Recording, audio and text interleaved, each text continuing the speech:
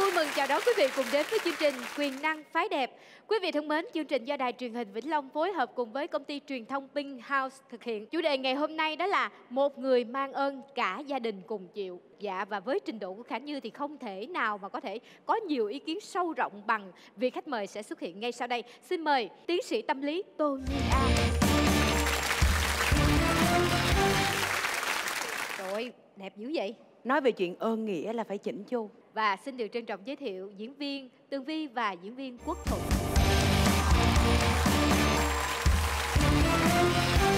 Lời nói đầu tiên cho phép Quốc Thuận xin gửi lời chào đến tất cả quý vị khán giả đang xem đài. Qua cái chủ đề thì anh thấy nó có một cái gì đó nó hơi cứng cứng. Thí dụ như là một người mang ơn cả nhà cùng được.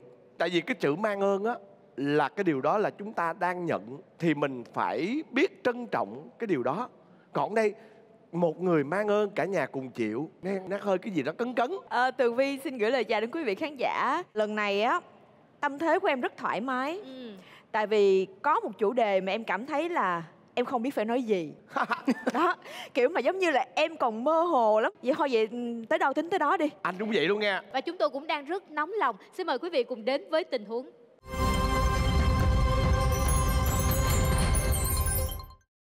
Mẹ ơi, con mới đi làm về. Mới về hả? Tranh thủ đi đón ờ, bé nhím với mẹ đi con. Chị hai đâu xong đón, nhiệm vụ chị mà. Người chung nhà thôi mà cứ nạnh hẹ vậy sao con? Thì bây giờ chị dâu con bận, con đi đón cháu của mình là bé nhím có gì đâu.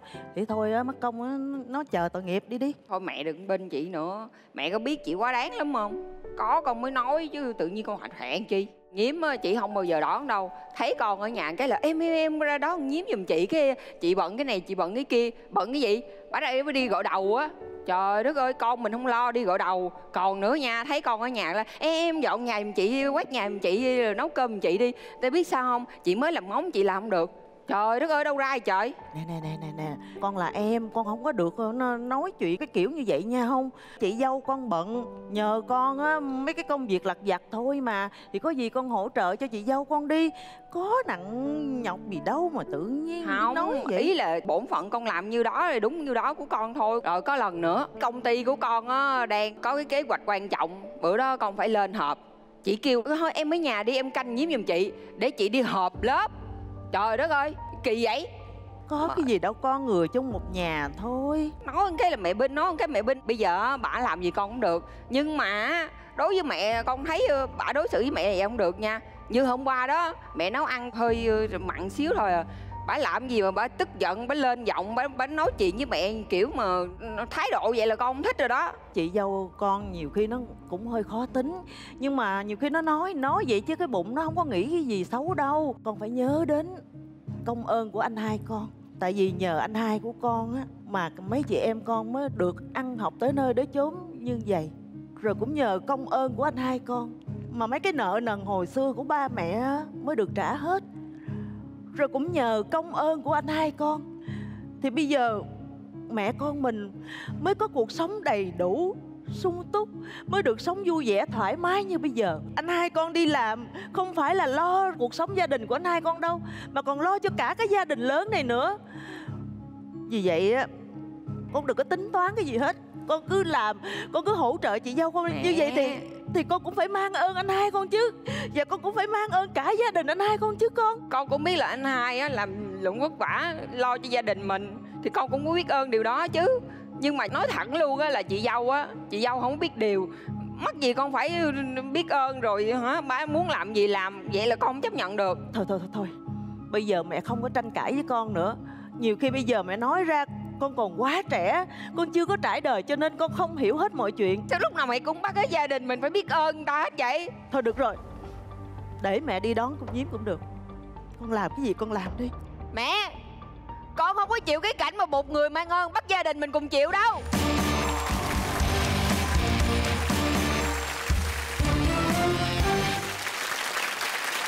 Căng quá cái chuyện này nó nó ở đâu đó trong cuộc sống là có gần với mọi người không trong cái tình huống này á, tôi thấy người mẹ đó thì à, biết ơn người à, người anh, bắt con cái mình đó là phải à, giống như là mang ơn luôn.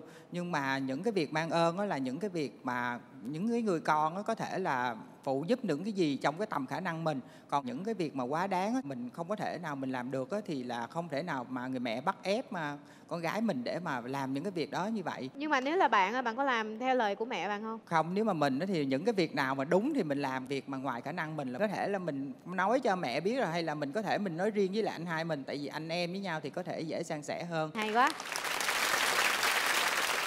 Dạ, mời bạn ạ. Cái người chị dâu này có thể là đang quá vịnh vào cái ơn của người anh hai, tận dụng cái sự giúp đỡ của tất cả mọi người trong gia đình thì em thấy thì như vậy là không được. Mình nên có một cuộc gọi là họp mặt gia đình và chia sẻ gọi là những cái ý kiến cá nhân để mình có thể thống nhất như thế nào để các tình cảm của các anh chị em trong đình không bị sức mẻ ai cũng có giải pháp cho riêng mình. Không biết còn giải pháp nào nữa không à nếu mà đặt trường hợp em là một người mẹ em là người mẹ trong tình huống này á ha thì em sẽ mở một cuộc họp gia đình có mặt à, người chồng nó luôn. Và em sẽ phân tích cho cái người chị hai á thấy là con không nên làm như vậy như vậy. À, yeah. hay quá ha. Một góc nhìn từ người mẹ luôn à, ai cũng muốn họp hết mà vấn đề mọi người có chịu đối mặt hay không nó mới là quan trọng cái chị. vấn đề là cái người cần tổ chức họp là cái người có vấn đề. Thì đúng rồi nhưng mà cái người có vấn đề thì không có được tổ chức họp chị à.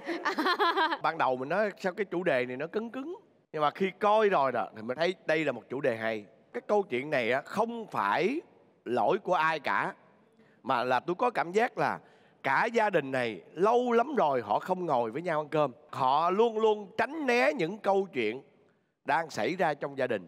Bằng chứng là cái sự bùng nổ của cô em. Cái khúc mắc là ở đâu? Là nằm ở hai nhân vật mà không xuất hiện á. Là anh hai với vợ. Là anh hai với là chị dâu đó. Tôi đang trông chờ vào cái phần 2 tiếp diễn nó sẽ như thế nào. Anh hai có biết cái chuyện chị hai đang làm vậy gia Đúng đình rồi. mình không? Có thể một anh hai bận quá nhiều việc. Còn hai anh hai là một người đàn ông có hiếu với mẹ nhưng là nhu nhược với vợ mình. Đôi khi á anh hai trong cái gia đình này á anh cũng chả nghĩ là anh đang ban ơn hay cái gì đâu, chỉ đơn thuần là cái trách nhiệm ảnh làm cho mẹ ảnh, cho em ảnh. Mình nghe cái sự than phiền của cô em gái á, đa số là những cái chuyện đó vặt lắm.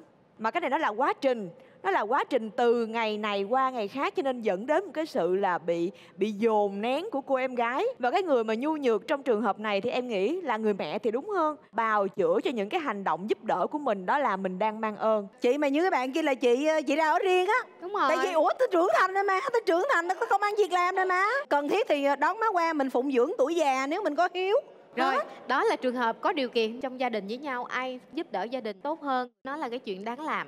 Thì bà mẹ cứ nhấn đi nhấn lại về cái chuyện con ơi con phải biết ơn của con mình mà chị no, tự nhiên rồi. cái làm cho mọi thứ nó có khoảng cách nãy giờ em có Tại cảm giác là đúng con rồi. rể chứ không phải là con ruột hồi luôn. nãy lúc mà nghe nói à. em cứ tưởng là cái cô cô cô con con con dâu này là một cái người gì đó có à. ơn dữ dội lắm nhưng mà cuối cùng lại là đứa con đúng rồi là con mình. trai của mình thì giống như em nói ví dụ như bản thân em em cảm thấy em muốn chăm sóc cho gia đình em mua này mua kia cho cha mẹ em. Em chưa bao giờ nghĩ đến chuyện cha mẹ ơi cha mẹ phải giúp con Đúng cái này rồi. phải làm cái này làm kia. Em còn không muốn cha mẹ em làm những điều đó thì bà mẹ tự nghĩ như vậy thì có phải là bà mẹ bà sai không chị? Thứ nhất trên cái trục hiếu đạo thì cái việc anh con trai làm là việc bình thường. Nên bà mẹ cũng đừng cảm thấy rằng nó là một cái gì đó nó vĩ đại. Và chính vì cái sự vô minh đó tự nhiên mẹ hoàng vào cổ những đứa con còn lại, mang một cái ơn lớn lao từ ông anh của mình. Thứ hai đó là gì? Đó là việc mà bạn trả ơn người khác nó không được thực hiện bằng việc bạn dung dưỡng cho những hành động xấu chắc chắn mình phải thừa nhận rằng là bà mẹ đang không ổn.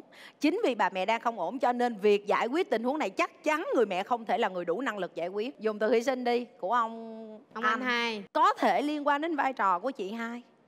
Có thể nhà chị hai là một cái nhà phú hào. Có thể tất cả những gì anh hai dành cho gia đình của mình là nhờ sự hậu thuẫn của nhà vợ. Và chính vì nhờ sự hậu thuẫn của nhà vợ cho nên bây giờ chị hai tự hiểu rằng là mình sẽ được quyền có vị thế với nhà chồng nhưng cũng có thể là cổ cũng rất là vô tâm vô tư đúng thôi. rồi. Mẹ là cái người đã dung dưỡng. Yeah. cho hành vi đó thì nuôi dưỡng hành vi thì riết rồi người ta sẽ tạo lập thói quen và người ta tin vào cái điều đó. Tôi nhận ra là ô điều này tôi được phép làm. Thì ở đây có một người con chúng ta được chứng kiến thôi. Thì nếu như các bạn thấy rằng mình có trách nhiệm với gia đình thì giữa những người con với nhau chúng ta cũng phải có vai trò trong việc xây dựng một cái giềng mối của gia đình. Các bạn đã bảo ban nhau trong vai trò của những người anh em để hiểu rằng là ờ em giúp chị đó nhưng mà việc này là chị cũng phải giúp lại em. À anh hai ơi nhớ về ăn cơm nha hoặc là ờ, gia đình mình phải cùng nhau làm những điều này nha. Mình trả ơn á chị. Ừ. không phải trả tiền góp mà góp mỗi ngày. À, mình phải trả đúng lúc đúng chỗ và đúng thời điểm. Rồi cái người mà cho ơn á cũng không phải là người cho dai nữa. Nên thành ra bạn đâu có phải là bạn mong lấy lại mỗi ngày là tôi cho bạn dây đó, rồi bây giờ từ đây về sau tới cuối đời là bạn, mỗi ngày tôi cần là bạn phải có. Thì cái cái quan điểm nó nó bị nhập nhằn, nên thành ra nó xảy ra rất là nhiều cái cớ sự mà em đang mong chờ là cái tình huống tiếp theo. Nó sẽ được giải quyết như thế nào, nó có trả lời được tất cả những cái câu hỏi mà chúng ta đang thắc mắc hay không? Thì xin mời quý vị cùng đón xem tình huống tiếp theo ạ.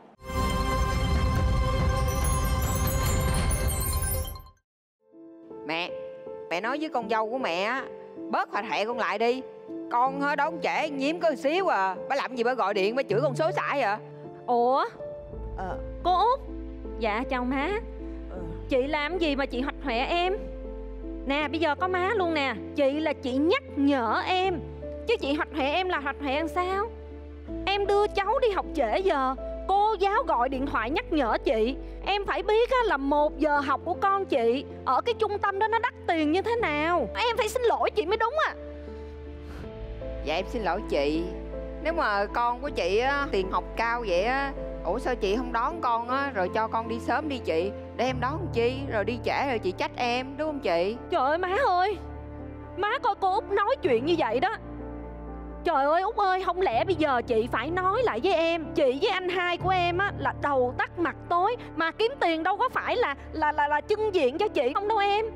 Kiếm tiền ra đó là lo cho các em ăn học thành tài lo cho má nhà cao cửa rộng. Mọi người làm ơn có trách nhiệm một chút xíu. Mỗi người chia sẻ gánh vác một chút. Anh hai chị hai đã cực khổ như vậy đáng lý ra đó là em phải lao ra em chăm con cho chị kìa chứ không phải là đợi nhờ đâu em. Thôi Ủa? thôi thôi thôi thôi chị nói thôi, không trách nhiệm? Thôi không thôi, trách thôi. nhiệm hả? Tôi đâu có làm việc nhà trong đây đâu. Không không trách nhiệm tôi cũng không lo cho thằng nhiễm đâu. Trách nhiệm sao nữa? Hả? Thôi Trời mà. ơi.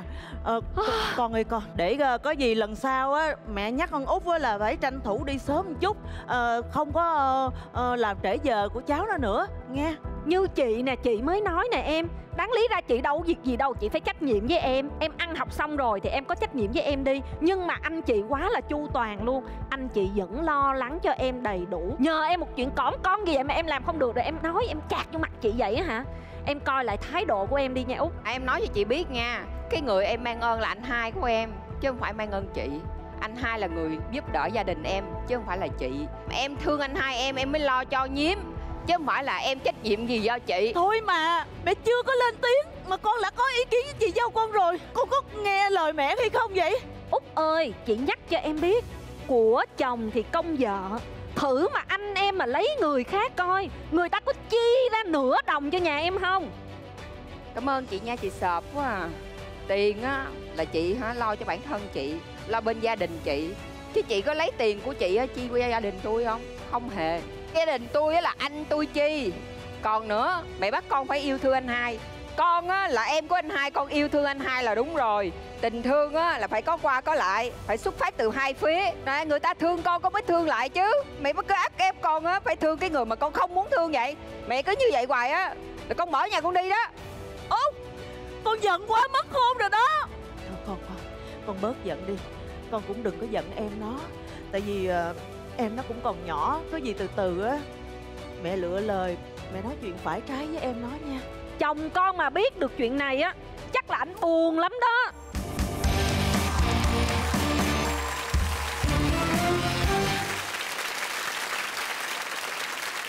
Wow quá, bây wow. giờ wow quá gấp gấp cho em xin ý kiến đi à dạ. Rõ ràng là chúng ta đang rất là mong đợi sự xuất hiện của cô con dâu và không làm chúng ta thất vọng. Cái sự uh, chảnh chọe của cô ấy và cô ấy tự nâng mình ở một cái vị trí cao hơn tất cả mọi người. Em nghĩ là cái sự hống hách đó là do người mẹ và cả người chồng đã dung dưỡng cho cô ấy. Câu chuyện này nếu mà nó cứ tiếp tục như vậy thì cuối cùng gia đình này sẽ giải tán thôi. Có ý kiến nào nữa không ạ? Dạ. dạ lúc nãy coi xong là em bị ức chế luôn á ở đây em suy nghĩ là chỉ có cô em à, nói chuyện với anh hai thì may ra câu chuyện của mình nó có được cái lối thoát. Còn nếu như cô em mà đụng với lại cô chị dâu thì sẽ bùng luôn. Và người mẹ này là quá dung dưỡng quá nhung nhược rồi. Còn ý kiến nào nữa không ạ? Dạ. Vấn đề về biết ơn là cái vấn đề truyền thống văn hóa của người việt nam của mình. Ở đây nó bị biến tấu và nó bị biến tướng bởi vì á đóng vai trò là một người con thì anh chị hai á là có cái nhiệm vụ là nuôi dưỡng em và phụng dưỡng cha mẹ. Em thấy mọi người cần nên nhìn nhận lại.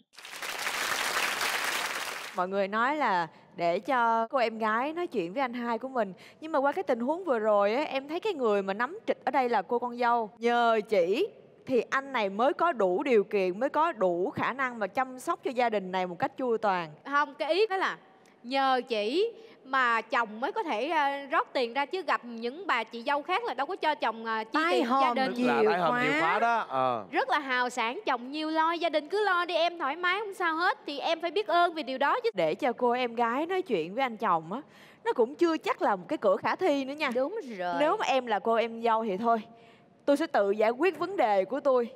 Tôi sẽ tự ra ở riêng sao nó không có giống như những cái gì mà tôi ước mong khao khát hả đời ta? đâu như là mơ anh ơi. Mình là muốn mong muốn khát khao thế giới này hòa bình bình ổn.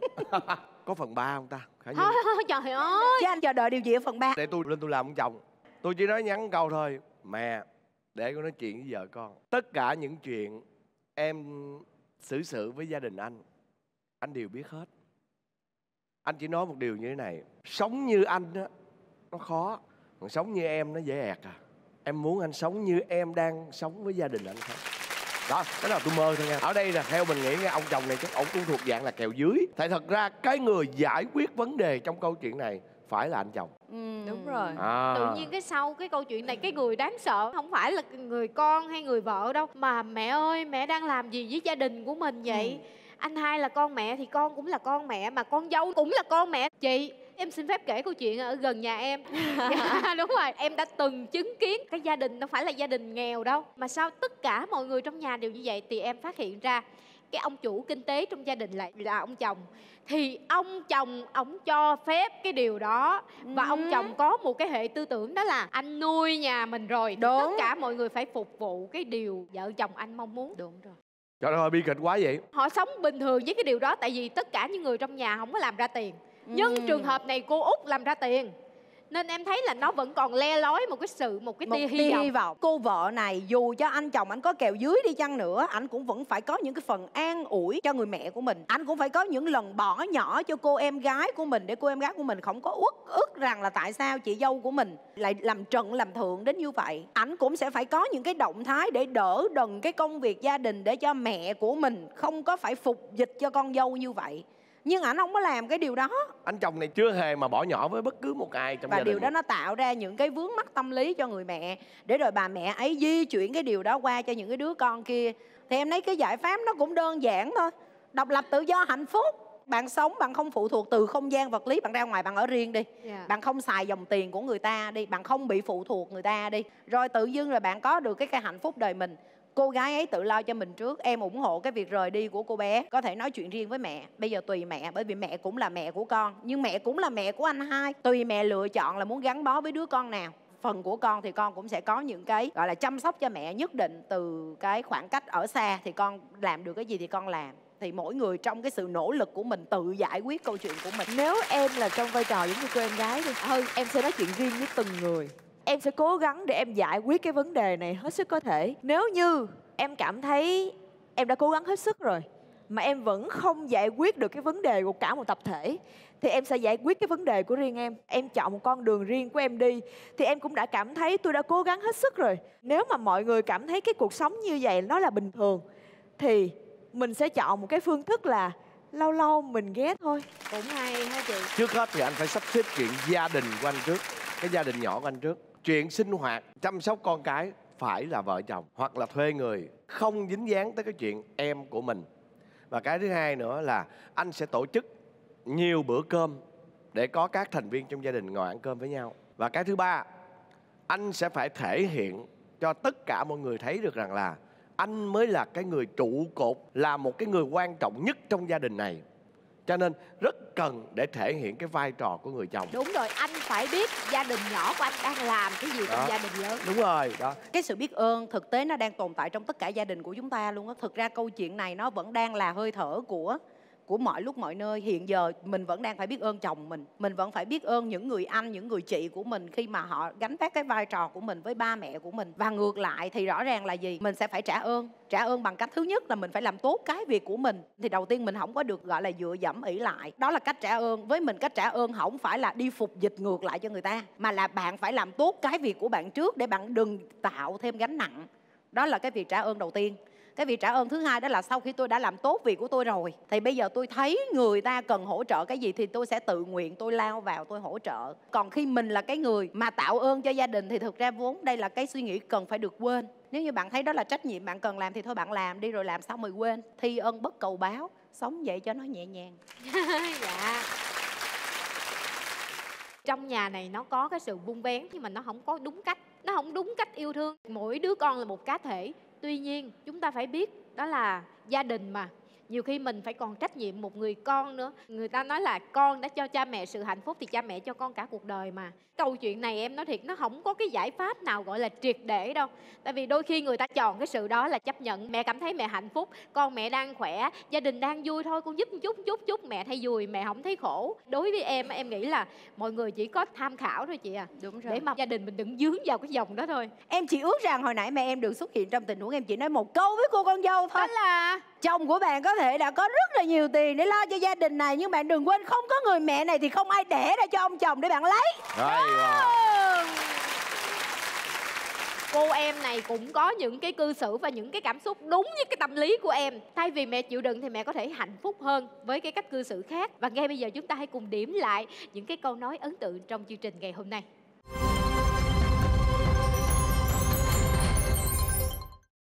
Chúng ta phải biết đó là gia đình mà nhiều khi mình phải còn trách nhiệm một người con nữa. Người ta nói là con đã cho cha mẹ sự hạnh phúc thì cha mẹ cho con cả cuộc đời mà. Chuyện sinh hoạt chăm sóc con cái phải là vợ chồng hoặc là thuê người không dính dáng tới cái chuyện em của mình. Và cái thứ hai nữa là anh sẽ tổ chức nhiều bữa cơm để có các thành viên trong gia đình ngồi ăn cơm với nhau. Em sẽ cố gắng để em giải quyết cái vấn đề này hết sức có thể. Nếu như em cảm thấy em đã cố gắng hết sức rồi mà em vẫn không giải quyết được cái vấn đề của cả một tập thể thì em sẽ giải quyết cái vấn đề của riêng em. Em chọn một con đường riêng của em đi. Với mình cách trả ơn không phải là đi phục dịch ngược lại cho người ta, mà là bạn phải làm tốt cái việc của bạn trước để bạn đừng tạo thêm gánh nặng. Sau khi tôi đã làm tốt việc của tôi rồi, thì bây giờ tôi thấy người ta cần hỗ trợ cái gì thì tôi sẽ tự nguyện tôi lao vào tôi hỗ trợ. Còn khi mình là cái người mà tạo ơn cho gia đình thì thực ra nếu như bạn thấy đó là trách nhiệm, bạn cần làm thì thôi bạn làm đi rồi làm xong rồi quên.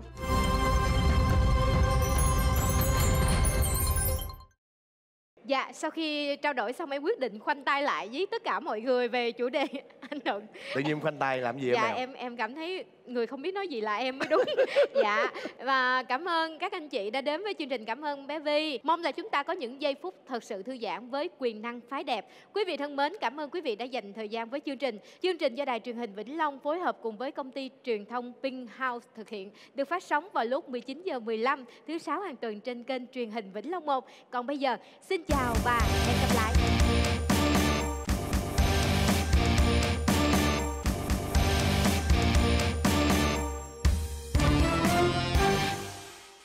Một nhóm những ông chồng không bao giờ kể về người vợ của mình. Trong những cái cuộc mà giao lưu ờ, thì cũng phải có người vợ bên cạnh thì đó là cái sự tự hào. Nếu mà thật sự người chồng đó yêu thương người vợ thì đó là sự tự hào của người Dạ. chồng. Ờ, rõ ràng chúng ta có thể chấp nhận ở trong một cái khoảng thời gian ngắn hạn để người đàn ông có thể chinh phục được ờ, cái mục tiêu của mình. Nhưng nếu như xét ở một cái kế hoạch dài hạn mà nếu như chỉ có như vậy không thì chắc chắn nó gặp nguy hiểm. Mà cái vấn đề ở đây á là giữa hai vợ chồng anh này không có sự lắng nghe. Ví dụ như nói là không muốn cho vợ đi bên cạnh mình trong công việc thì phải giải thích cho vợ là tại sao lại không muốn. Cái chuyện này sẽ ảnh hưởng tới cái mối quan hệ của mình như thế nào. Thì qua cái sự lắng nghe, qua cái sự trò chuyện đó, vợ cũng được bày tỏ cái nguyện vọng của mình và chồng cũng nói được lên cái lý do thực sự của mình là gì.